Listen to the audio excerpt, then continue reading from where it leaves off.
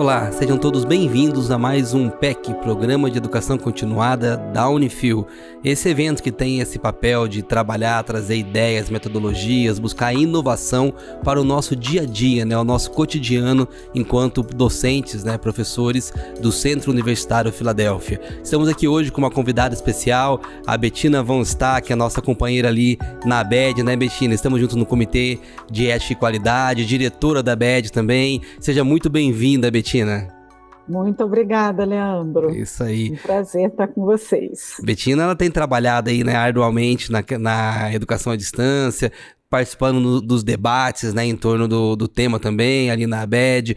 Betina, para a gente começar, fala um pouquinho, né, sobre a sua trajetória, né, o que, que você tem feito, qual que tem sido a sua atuação. É, eu atuo na área de tecnologia educacional desde que eu me conheço por gente, desde o milênio passado, né? Eu tava, eu fiz graduação e mestrado em letras e quando chegou a hora do doutorado eu disse não, a gente tem que buscar inovação, novos caminhos e também fiquei na linguística aplicada, mas já com foco em tecnologia, em educação à distância, em novas possibilidades para a educação, né? Então já é uma jornada de décadas e sempre com foco em, né, eu atuei tanto em formação de professores, implementação de projetos com tecnologia educacional, é, trazendo tecnologias do exterior para o Brasil, trouxe a D2L, estou trabalhando hoje com a RoboGarden, que é uma plataforma de ensino de programação, é, fiquei muito tempo no positivo, na positiva informática, né, e o meu foco sempre foi é, né, em duas canoas, assim, na formação de professores, na transição digital e na pesquisa de resultados. Então, para mim, não bastava ir lá fazer um trabalho é, e né, ficar satisfeita que estão usando a tecnologia. Eu sempre, junto aos meus é, parceiros, empregadores, eu sempre vou lá e peço para fazer um estudo de impacto, ver como é que aquela ação impactou o aluno lá na ponta. Tive um trabalho muito bacana de implementação de tecnologia educacional no interior do Piauí, e aí tinha o pessoal que implantava, mas eu ia lá para ver o resultado, para ver como que modificava a vida dos jovens, das famílias, das pessoas que foram contratadas para trabalhar lá. Então eu tenho esse olhar sempre tanto da formação quanto da pesquisa. E isso acabou me levando para o censo EAD.br da BED. Então, em 2015, tive a oportunidade de ser aceita pela BED para coordenar o censo. Faço isso desde então. É um trabalho que, né, nos primeiros anos que eu assumi, era um trabalho braçal, que eu ia lá, coletava os dados, fazia pesquisa, fazia análise, escrevia o texto.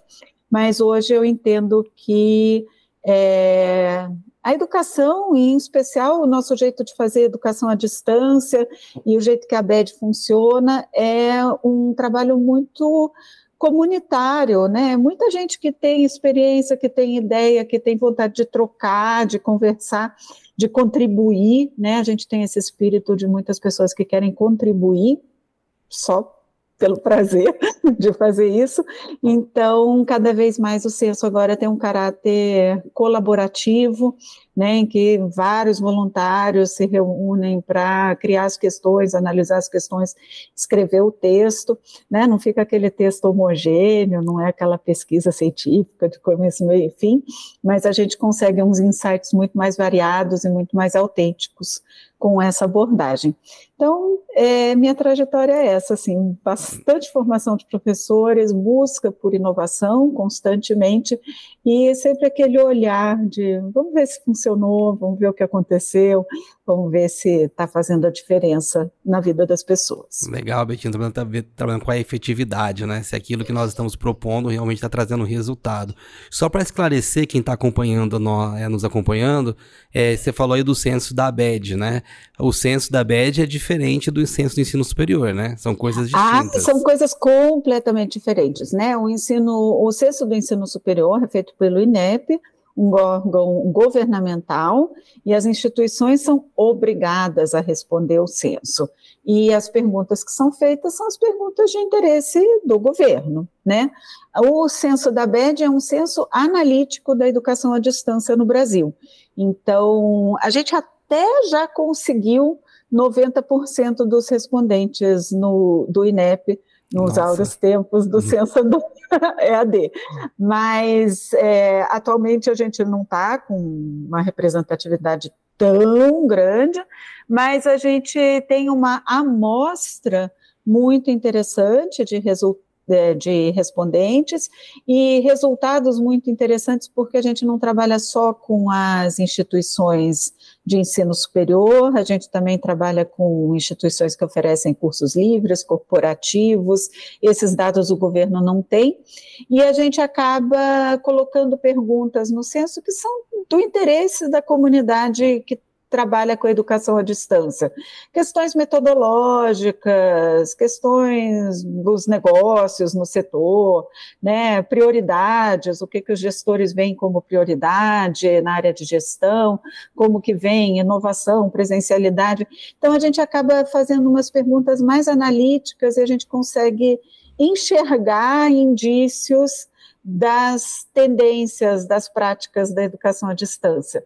Né? Então, a gente consegue pegar aquele primeiro tracinho que estão começando a usar gamificação e simuladores, aí no ano seguinte já tem um monte. A gente pega aquele primeiro tracinho de curso de pós-graduação lato senso e agora não é mais tendência, é é só o que tem. Então, eu adoro pegar no censo da VED aqueles tracinhos. Uhum. Eu digo, será que isso vai crescer? E a gente tem essa característica da exponencialidade e, invariavelmente, cresce, né?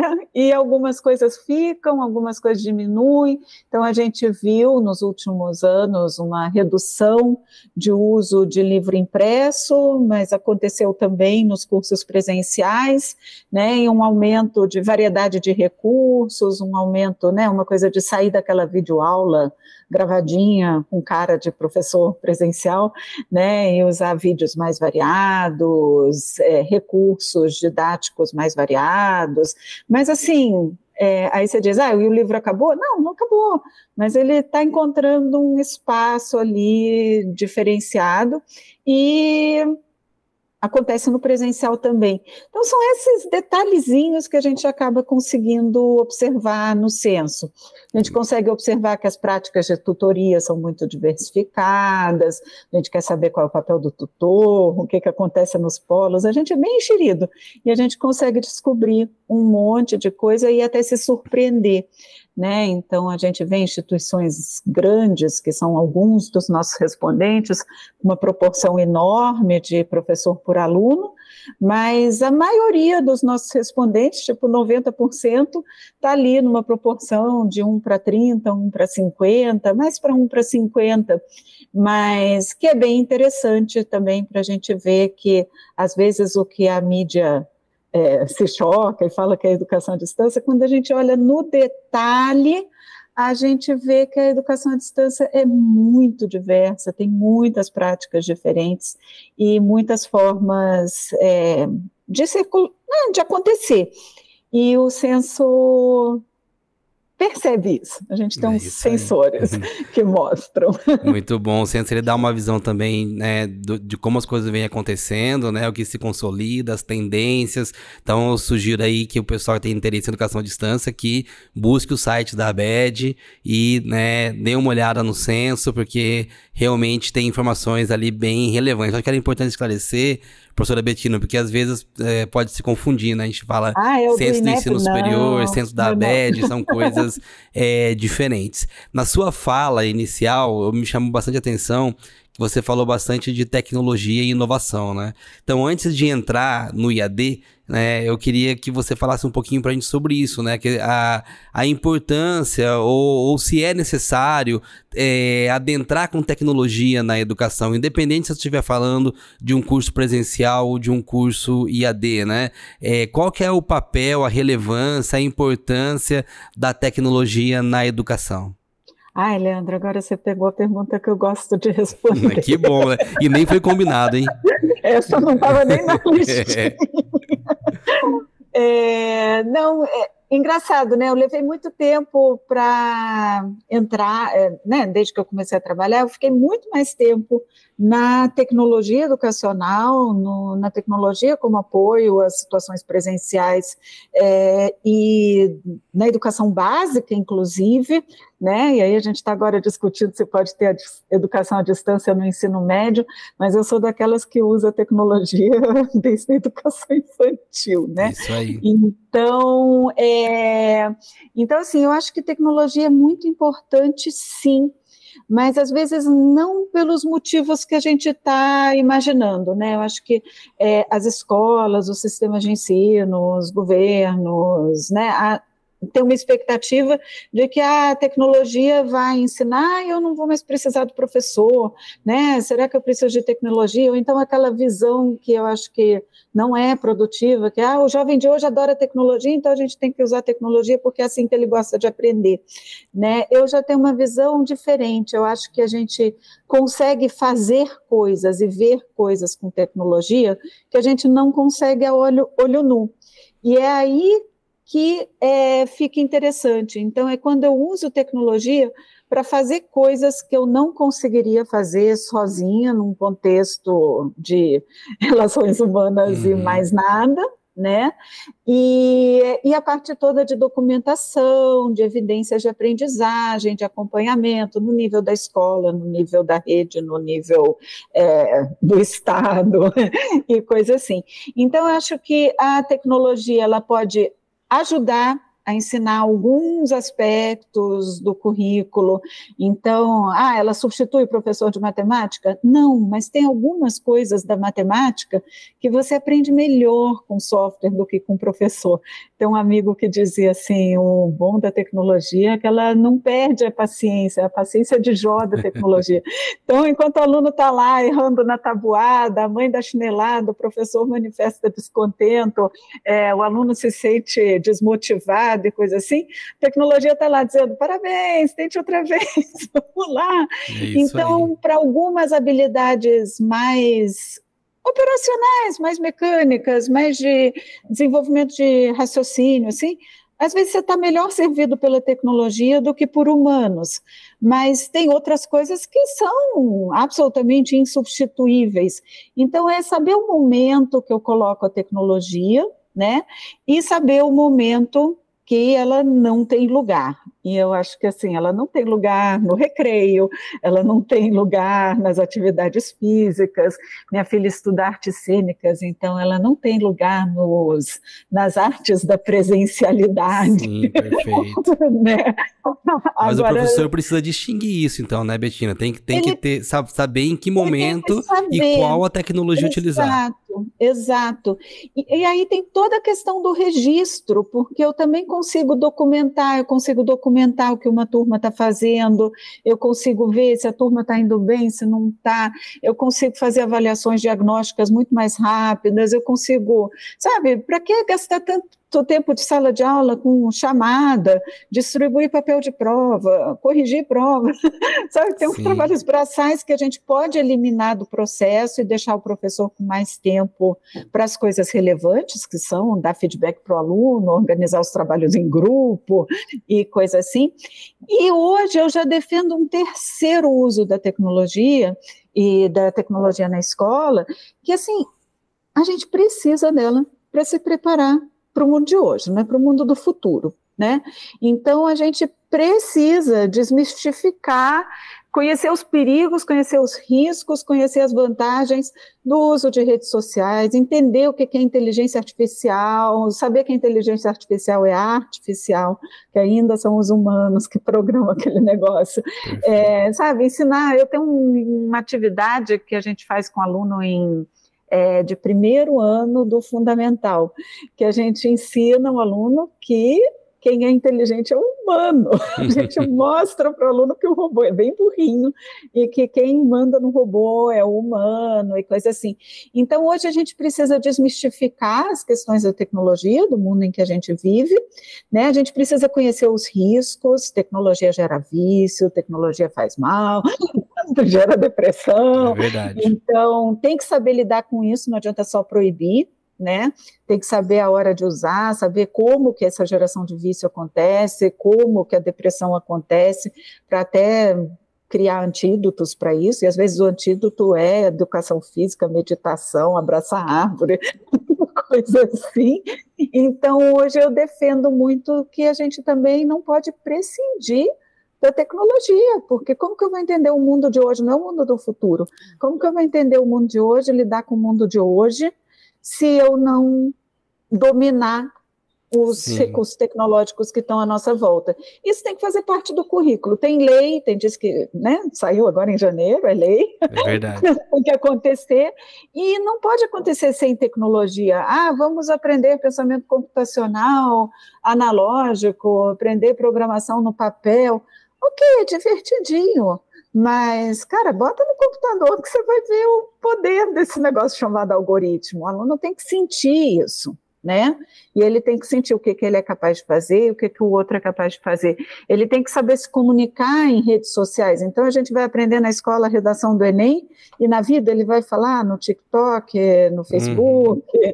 Então, assim, como que ele se comunica nesses lugares? Quando que ele está em risco? Quando é que ele está sendo influenciado? Qual é a diferença de você ser impactado por um algoritmo, por um humano que quer mudar a tua visão de mundo? Né? É muito diferente. O algoritmo não quer te fazer mal, mas ele dá para você exatamente o que você quer e é isso que dá a bagunça danada, né? E é isso que pode ser o problema, né? Quando ele dá exatamente é o, o que a gente quer, né? Porque se tem alguém que quer te fazer mal, você ainda consegue se defender um pouco melhor. Exato. Então, eu acho que a gente não pode abrir mão disso, né? A gente está formando gerações e gerações que não sabem, né? É. o que, que a tecnologia afeta a vida da mais humilde doméstica, né? Precisa, a gente precisa discutir isso no nível da cidadania. Não estou nem falando no nível da empregabilidade, que esse é outro, né? É, quem domina a tecnologia tem muito mais empregabilidade em qualquer setor, Perfeito, né? Vai ser demandado exatamente. de médicos, de advogados, de professores, de engenheiros, de podólogos, de guias turísticos, motoristas e e motorista de trator, sabe? Betinho, mas isso, isso não pode levar para o professor um, uma preocupação em relação ao seu papel? A gente, tem, a gente tem discutido muito, né, qual é o papel do professor hoje, né? É, e essa tecnologia, essa, essa, essa necessidade de você trazer, né? Eu gostei muito da sua reflexão, dos momentos certos, tecnologia certa, né? Mas o, o professor, eu vejo que ele está muito preocupado também em relação ao seu papel, né? Qual que é o meu papel hoje? Então, a gente tem fa falado muito de tecnologia aliada a metodologias, né? Sim. Que o professor tem que rever sua, os seus métodos, as suas formas de trabalhar. E muitas vezes o professor ele está é, se perguntando, tá, mas o que, é, o que significa ser professor hoje, né? É, a gente teria condição de fazer uma reflexão nesse sentido? Olha, é, o professor nunca vai ser substituído. A gente precisa cada vez mais de professores. Mas eu acho que aquele papel, isso a gente já vê, não é nem com inteligência artificial, isso a gente já vê, né, desde o tempo do CD, de antes da internet. É verdade. É, o papel do professor de transmissor de conteúdo, está em xeque. Né? É claro que ainda existem situações que os alunos adoram ver um professor explicando, né?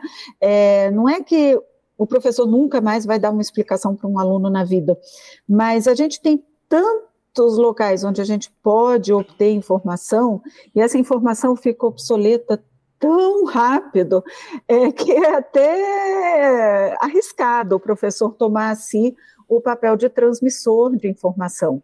Né? Ele tem que ser muito mais um curador, um orientador do aluno que vai pesquisando, que vai fazendo seus projetos, né? alguém que acompanha o desenvolvimento do aluno. Aí tem N funções de professor Sim. que nunca vão cair por terra.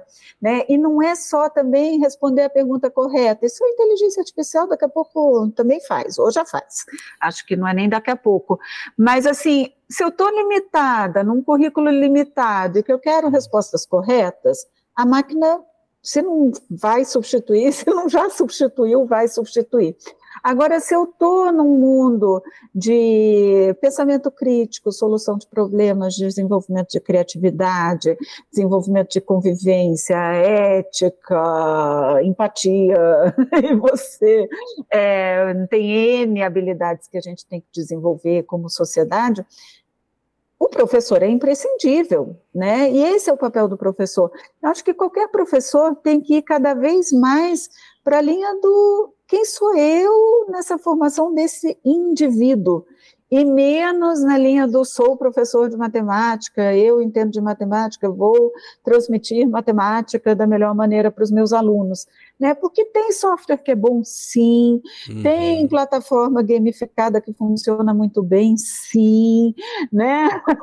A gente tem hoje plataformas gamificadas de matemática, de programação, de inglês. Eu conheço um case que botaram inteligência artificial para ensinar inglês na Coreia e 90% dos cursos presenciais fecharam, né? Só não fecharam os cursos que davam atendimento individual Sim. ao aluno. Uhum. Mas se o objetivo é acertar a prova do TOEFL, é ok.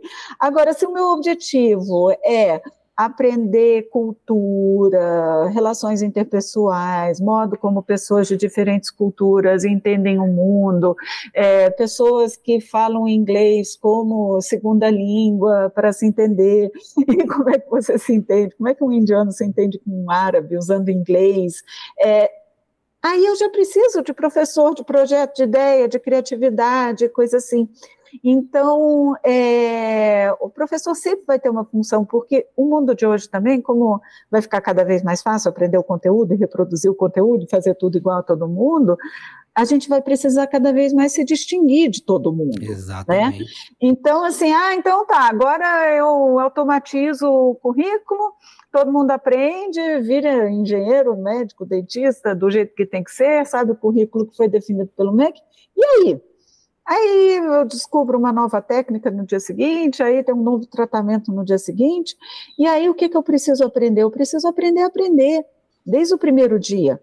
E é um professor que vai orientar um aluno e ensinar o tal do aprender a aprender, né? E, e, é aí que a gente vai trazer as soluções para o mundo, porque não tem inteligência artificial nenhuma, rede social nenhuma, tecnologia nenhuma que conseguiu, vai conseguir resolver um impasse nas Guianas lá, que a é gente está vivendo agora. Né? É Você perguntar para o chat GPT, ele talvez te dê uma resposta bonita, mas ele não vai botar uma ideia decente na cabeça dos envolvidos. Então, isso é interação humana, é um problema novo, inesperado, que a gente tem para resolver, como humanidade, né? E como é que a gente aborda isso? O que, que a gente estuda? O que, que a gente vai ter que entender de diplomacia, de exploração do homem pelo homem, de valor de recursos naturais, de mudanças climáticas para enfrentar esse assunto? Não, não tem inteligência artificial que resolva isso para a gente. E eu também não vou entrar em detalhes, né? Se você quiser fazer a listinha dos problemas que a gente está enfrentando agora que estão sem solução, né? É, é, é para isso que o professor tem que formar. Ele também não tem a solução, mas ele tem que ajudar o aluno a encontrar. Né, e saber encontrar, saber buscar, saber ir além. É, não é tão importante ele saber o verbo to, to be, é importante ele saber buscar as formas Exatamente. de se expressar. Né? Ou seja, o papel do professor é. continua muito relevante, né, professora? Cada vez mais. Exatamente, vez mais, é muito importante isso. Muito pouquinho. Exato. É só essa que caiu. Professor, a gente está falando bastante aqui de uso de tecnologia, papel de professor, né? Como que isso vem é, se transformando no decorrer do tempo. Agora, mas eu acho que é bastante, bastante importante a gente diferenciar também é, o uso de tecnologia, né? Em cursos de atividades presenciais e em cursos à distância. Né, quando a gente fala no IAD, a gente tem uma modalidade de ensino no Brasil, né? É, nós temos uma legislação que define muito claro. Eu tenho duas modalidades, né? Em especial quando eu falo em ensino superior, mas isso acaba impactando também nos outros níveis, né? Mas é, presencial e IAD. No IAD, né? O, o, o, que, que poderia dizer que caracteriza o IAD, ou que diferencia um curso IAD, uma formação à distância, de uma formação é, presencial? Ótima pergunta. Né, a resposta simples é quando o professor e o aluno estão em lugares diferentes. É, é a resposta é, técnica, né, professor? É a resposta simples. É. Aí vem, e o que, que acontece se eles estão em tempos diferentes? Né? Então, alguns acham que, ah, encerrado a definição de EAD, então eu vou fazer síncrono se a gente está à distância. É, e não é bem assim, né? É, aí, ah, então EAD é aquilo que a lei diz, que o governo diz que pode ser um curso EAD, mas que é obrigado a ter presencialidade para isso, para aquilo, para aquilo outro. Aí o governo define que a prova tem que ser feita de forma presencial, senão o curso não vale, sendo que a gente tem N estratégias de avaliação remotas que podem funcionar melhor do que a prova. Aí a gente retrocede metodologicamente 20 anos, porque o governo diz que curso sério tem prova presencial. Né? Então, assim, o que é EAD hoje é o que o governo diz que é AD, né? Agora, na prática, é, são formas de ensinar e aprender que viabilizam a formação dos alunos distantes no tempo e no espaço, com as metodologias das mais variadas, né? E a gente vê que a questão da transmissão do conteúdo, ela também ocupa um espaço grande, é, né? Porque isso no presencial, que ninguém pensa, né? O que está acontecendo lá na sala de aula, você põe a responsabilidade sobre o professor, sobre entrega de conteúdo, metodologia e avaliação, e, e pronto. Então, se você tem bons professores, vai funcionar. Na educação à distância, você vai ter uma divisão de trabalho, você vai ter um professor que cria o conteúdo, um outro que faz a mediação com o aluno, um outro que faz a avaliação, vai ter modelos mais centralizados, modelos menos centralizados, modelos que valorizam mais o professor, que valorizam mais o conteúdo, que valorizam mais o aluno, né? Então, assim, são N formas diferentes de acontecer, né? Mas é, para viabilizar um ensino em que alunos e professores não estão no mesmo lugar e talvez nem juntos ao mesmo tempo, mas que conseguem se conectar, né? Então essa tecnologia permite uma conexão, né, entre a instituição que ensina, entre o aluno que aprende, né, e, e tudo que a gente quer desenvolver no meio do caminho. Seria uma metodologia, professora Betina, para atender apenas é, formação teórica, quando eu falo em AD? Só serve para teoria? É, o pessoal acha, né? Ah, hum. cê, né, é, dá para fazer curso de não sei o quê porque é teórico. É, a gente ouve muito é isso, né? Não dá para ter EAD. Aí, mas aí a mesma pessoa que diz isso diz que direito não pode ser é, ensinado à distância, né? Como assim? Todas as pós-graduações de direito são à distância, mas parece que a formação básica não pode acontecer né? E aí você vê, ah, enfermagem, é, tem muita coisa prática na enfermagem, não dá para aprender à distância. É verdade, tem algumas coisas que não dá, mas a enfermagem é mais do que tirar sangue, tirar pressão do cidadão e aplicar Exato. injeção, né? Então, enfermagem tem um aspecto é, social, tem um aspecto de relacionamento com enfermeiro e médico e paciente, tem um aspecto de, ah, de tantos, né, de saúde, de higiene, de respeito. É, por que, que a gente não pode aprender isso? Acho que tudo que não envolve o tato a gente consegue aprender à distância, mesmo questões práticas, né? Mesmo dilemas do direito, mesmo né, questões de regulação da odontologia, da enfermagem, da licenciatura e coisa assim, mesmo né, métodos, como que eu abordo diferentes questões junto aos meus alunos. É, eu não preciso estar numa sala de aula com o professor ao mesmo tempo para discutir esse assunto né? Eu não, eu posso discutir metodologias à distância, eu posso criar planos de aula à distância, eu posso planejar reuniões de pais à distância com foco objetivo e coisa assim. Então é, é uma visão, né? Eu acho que as pessoas têm aquela visão que EAD vai ser uma entrega de algum negócio que você lê sozinho, existe uma visão da solidão da educação à distância, e as pessoas que criticam, mesmo hoje, depois que a gente tem mais da metade dos graduandos querendo ir para a educação à distância, ainda existe esse preconceito, ainda existe esse medo, ainda existe essa coisa, será que o aluno vai ficar enganando se ele está uhum. longe? É, né? Gente, ele engana o professor nas, na cara do professor, né, para não dizer outra coisa, né? Será que ele vai interagir? Aí a gente se surpreende que é, não é todo curso que oferece isso, mas quando o curso oferece interação é, professor-aluno, aluno-aluno, são estabelecidas relações de muita intimidade, de muita proximidade, né? mais proximidade do que uma sala de aula com 30, 60, 100 alunos permite. Né?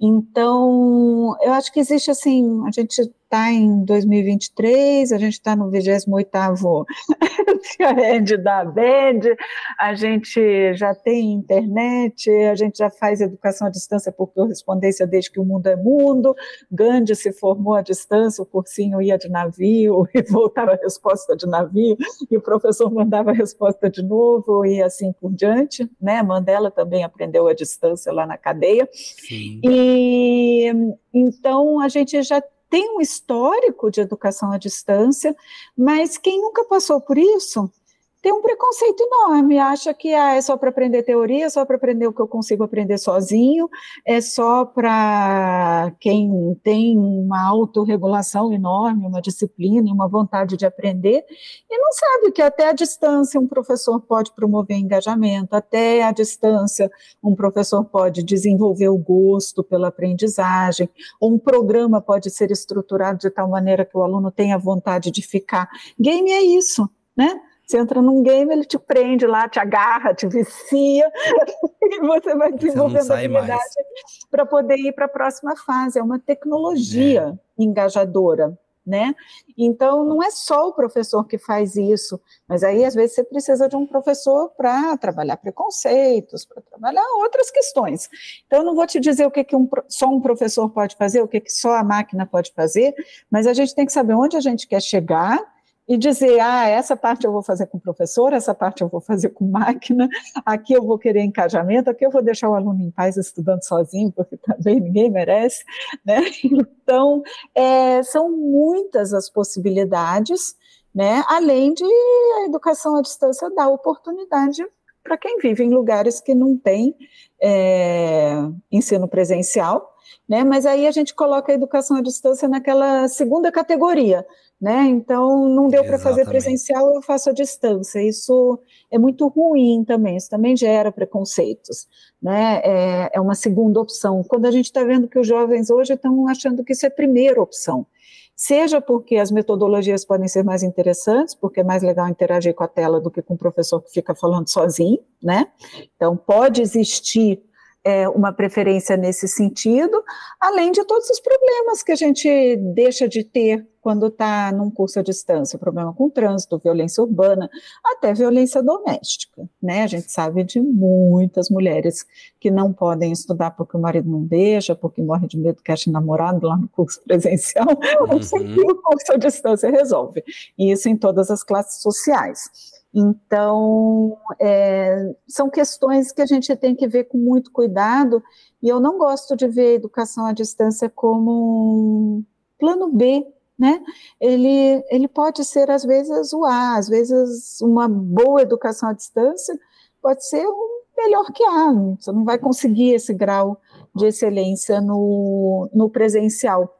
E aí a gente vê que talvez o presencial seja interessante para aquele aluno que faz graduação na idade certa, né, que eles têm experiências ali que são muito importantes, que levam para a vida, encontrar os amigos, fazer festa, estar junto, ter um momento né, de relaxamento entre uma aula e outra, e curtir com os amigos.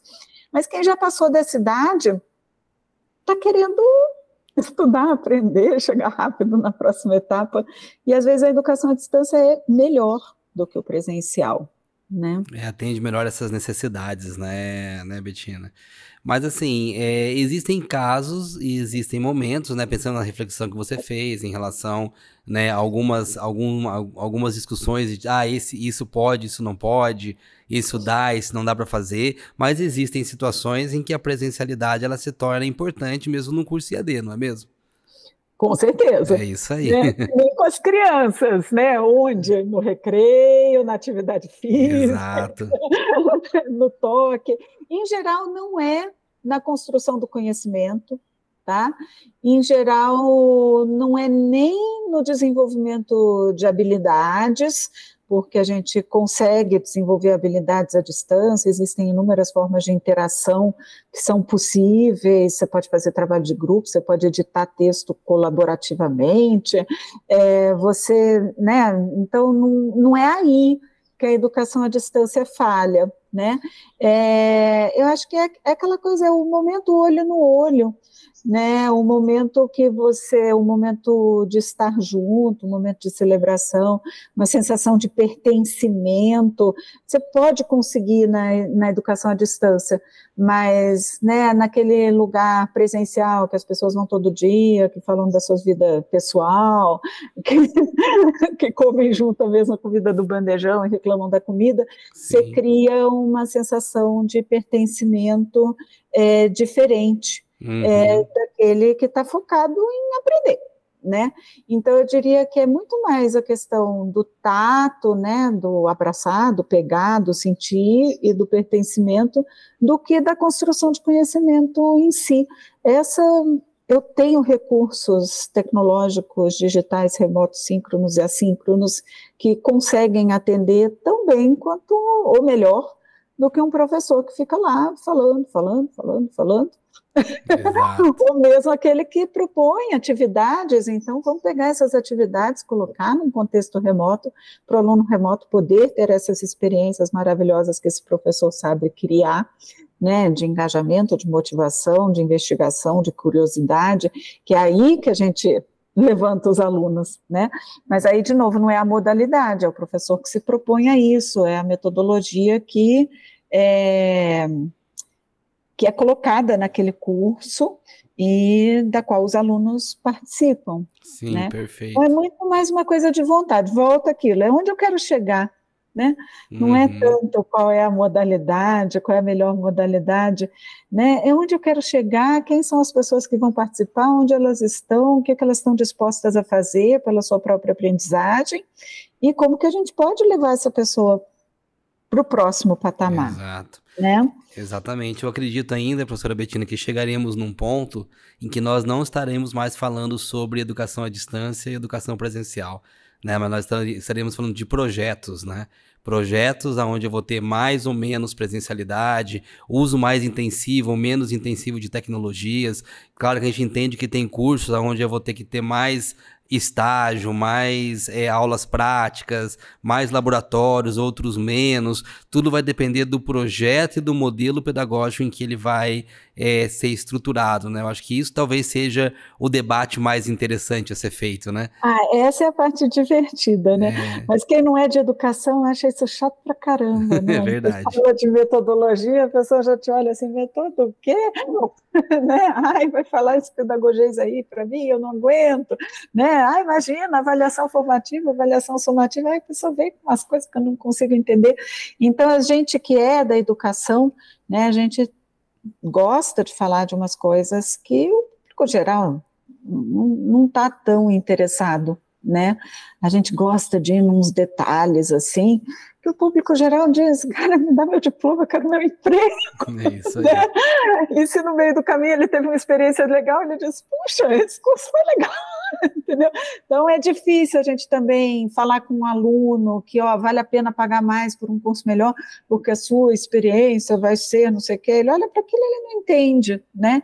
Ele sempre teve uma experiência de ensino de um jeito X, sofrida, baseada na punição, aí você diz aqui é diferente, não vai entender, né? Ou ele vivencia aquilo, entende, conta para o amigo, ou não é numa comunicação de marketing que a gente vai conseguir falar, a gente não vai conseguir explicar para o político, né? o político quer voto no final, então, ai meu Deus, você vai me fazer parar para pensar agora sobre o tipo de avaliação e momentos síncronos e assíncronos, olha quanto palavrão que a gente usa.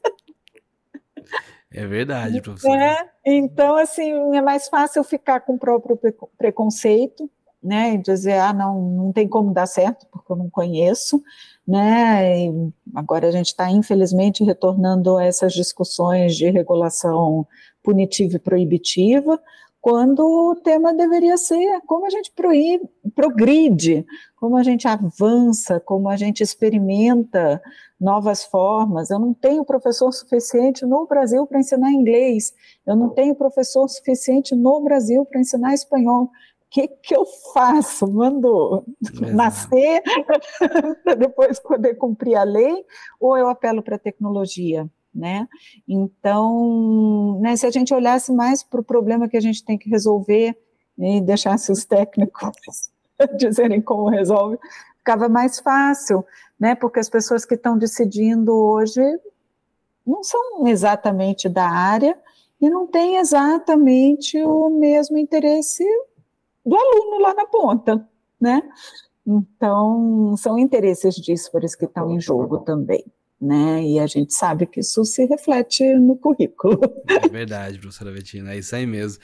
Eu penso nessa linha também, eu acredito que a gente tem condições de, de avançar muito né, nos projetos, na tecnologia, na metodologia do IAD, na formação do docente, né, professora Betina, para que ele também entenda a modalidade, entenda qual é o seu papel dentro desse desse processo né, na, na educação à distância, que se entenda que vou ter cursos que naturalmente vai exigir mais presencialidade, outros menos, vai ter projetos que vão exigir mais tecnologia, que vão exigir mais é, interação, outros vão ser diferentes.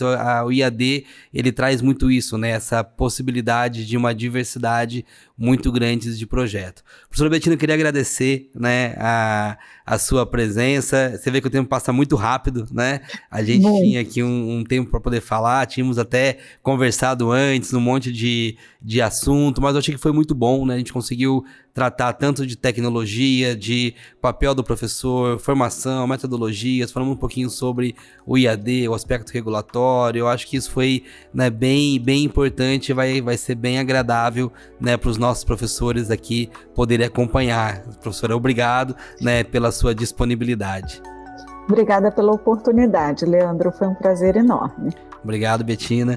E obrigado, né, vocês que estão acompanhando, né, o PEC, que estão aí, tá nesse é, processo de aprendizagem, né, nesse processo de buscar realmente conhecimento que possam favorecer a nossa atuação no dia a dia, né, junto aos nossos alunos. Obrigado pela sua presença e até uma próxima oportunidade. you.